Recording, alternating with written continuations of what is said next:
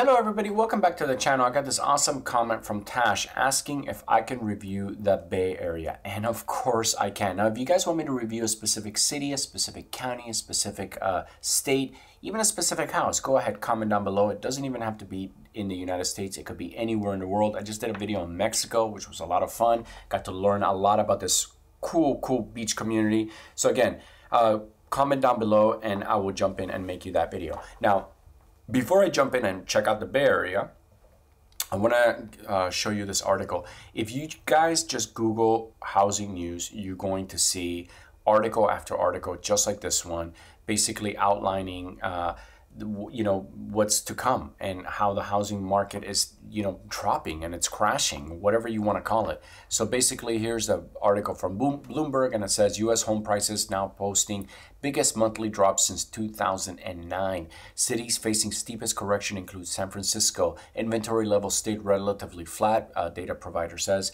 So i do believe that the the inventory levels are going to start to skyrocket. I, I, I feel like we're going into a slow holiday season I think that once you know companies start reporting their earnings next. Um, at, uh, you know, at next year, at the beginning of next year, I think uh, you know everything is going to hit the fan, and it's going to be sort of scary times. I, I you know, inflation is still rampant. Uh, it's still really high. Mortgage rates are really, really high. I think we're going to have a lot less buyers, and you know, any kind of uh, and yeah, with inflation basically sucking all our money out of our paychecks, uh, you know, paying for more expensive gas, more expensive groceries, you know, we're not going to have enough money to go and, and buy, you know, toys and, and, and holiday gifts and stuff like that, which, believe it or not, are a huge part of the US economy. So um, it's going to get pretty bad and it, it sucks but you know it's gonna get better you know once the market crashes we rebuild and uh, you know hopefully for those of you who are really you know making sure that you want to buy a house you might have a really good opportunity now remember it is always better to buy a house with a lower price with a higher interest rate than uh, a higher price home with a lower interest rate. Unfortunately, right now we have still have high prices and high interest rates.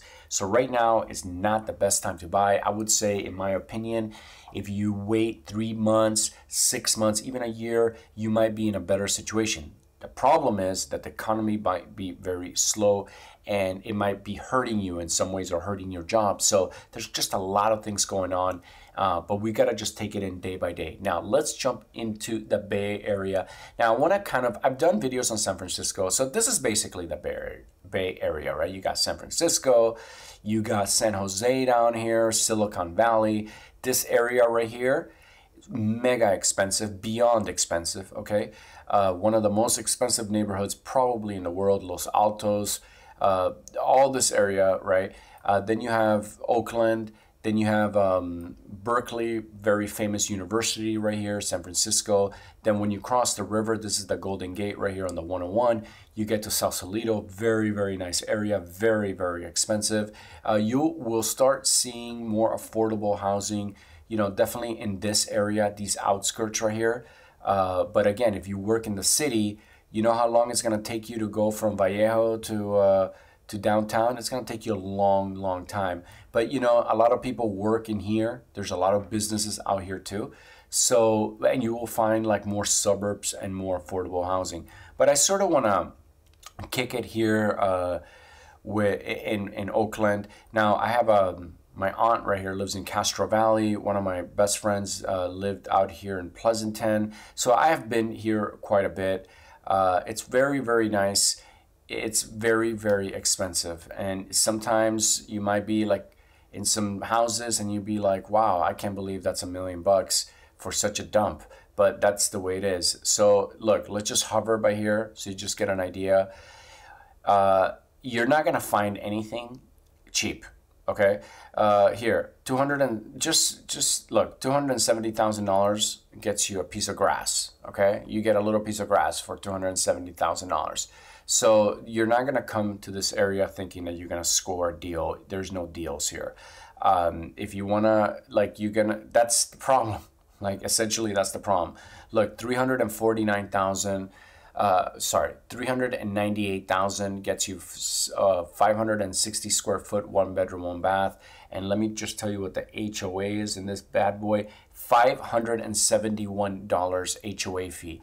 Okay, so $400,000 for a room, okay, for literally a room, and you're paying on top of $400,000 mortgage, you got to drop an extra $561 on that HOA fee. Let me tell you something about HOA fees, they always go up. Now again, you're not it's not you're paying a lot of money to live, you know, in a very very small small place. Uh, but that is that's how it is. If you don't have a million bucks, I mean, you do get a pool, I guess. But remember, it's cold. You're never gonna use that pool, right? And like, here's another thing about a pool. Nobody's gonna use the pool and everybody's like watching, you know, like. and there's no like lawn chairs out here. I mean, put put something out here, right? I get you got a pool, but man, make it look more res- resorty. Again, but you see, four hundred thousand dollars. It's a lot of money for a shoebox. Uh, so let's just assume that our budget is a million bucks because that's what it's going to have to be. So let's just scroll and I'll, I'll see if I find anything nice. Here's a one story. Uh, actually, this is not bad. Look at this, five hundred thousand dollars. 1,000 square foot, three bedroom, two bath. Actually, this is nice. This would be something that I would uh, definitely want to be, if I was in the market, I would want to grab this ASAP. Here's the problem. You got like um, a gate, uh, you know, literally uh, an electronic gate of some sort, uh, which is kind of could spell disaster in a way uh, could be uh, could be a, it might not be a, not, a safe neighborhood, right? You gotta always think about that uh, because you know there are some parts of Oakland that are a little bit on the rough side. But this house, I really like the price. I know it's small, but being in the city, having your own little house is sort of insane. The rooms are tiny, three bedroom, two bath. Again, it's only a thousand square foot, but the kitchen looks nice. This, I love the fact that you get a little yard. This is a nice, nice deal right here, guys. Uh, you get a little she shed back there. You get a sick ass barbecue, like a smoker type um, built in. You definitely need to clean up the house a little bit. You got some neighbor stuff going on back here. Maybe, I don't know, figure that out. You got, I don't know what the hell happened here. This looks like an old garage. I don't know what's going on there. But again, you know, no, it's probably just a side of that older neighborhoods, but you know what? $500,000 seems like a steal. Now, this is more like it $900,000, 1,300 square foot, two bedroom, two bath. You walk in here, uh, again, this is a small house for $900,000. This is expensive. Got power lines back there. You, you're, you know, I do I don't know what kind of neighborhood it is. The inside of the house looks spectacular spectacular. They did a great job. The back of the house looks awesome. Look, you get like, you could park your car, you could have an RV if you want, you could possibly even put a boat if you want.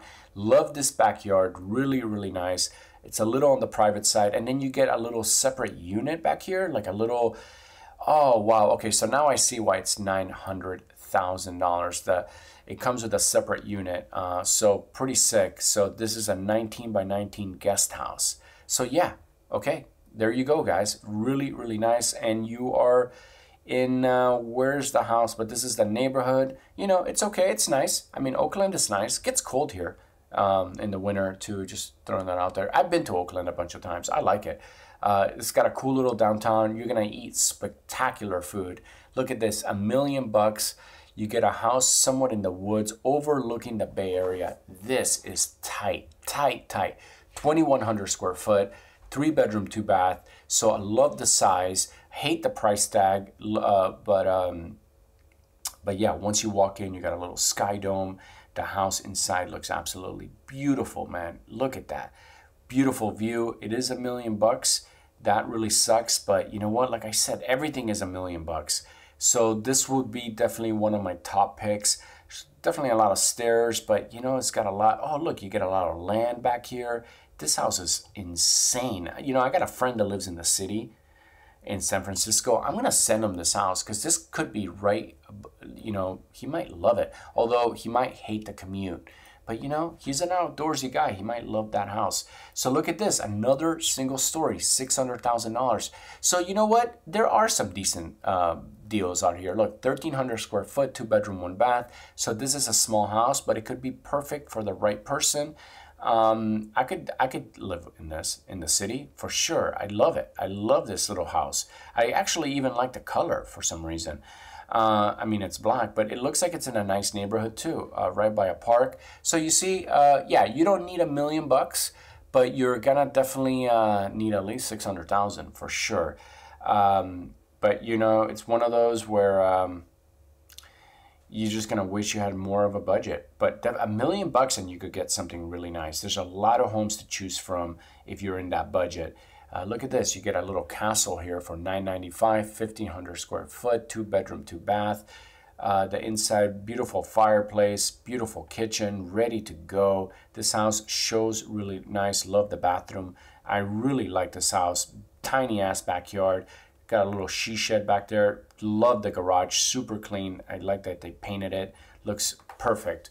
Uh, this house is nice. The only problem is that it's a million bucks. That's the sort of the only problem. Okay, guys. So what do you guys think?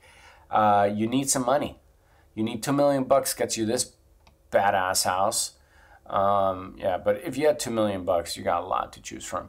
So overall, I think the Bay Area is very, very expensive.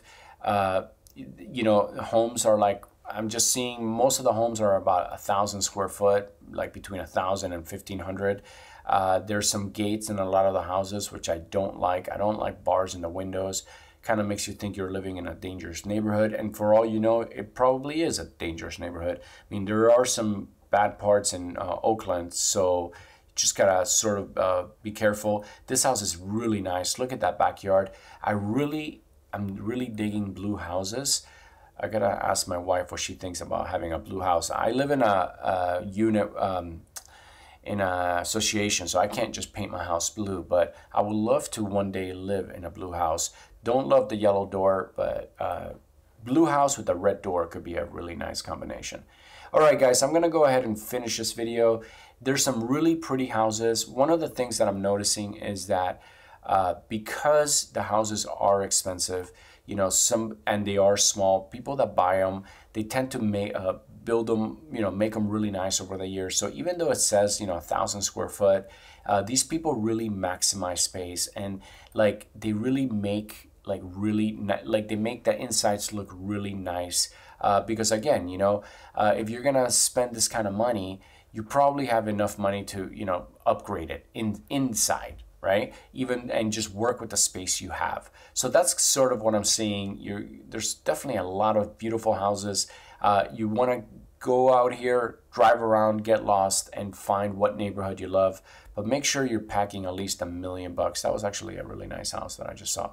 All right, guys, I'm gonna, before I finish this video, I wanna show you the Redfin weekly housing market data. You could see prices are now lower than they were in 2021. So we've crossed that mark. Love seeing that. You could see we might even be crossing that 2020 level very, very soon.